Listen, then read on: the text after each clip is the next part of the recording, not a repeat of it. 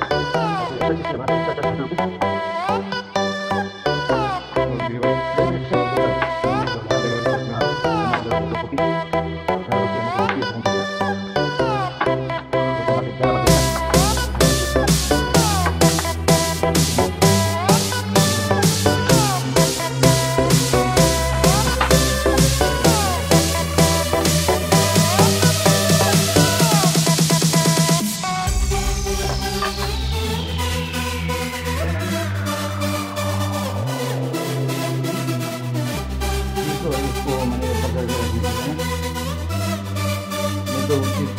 निकल के बाहर निकलना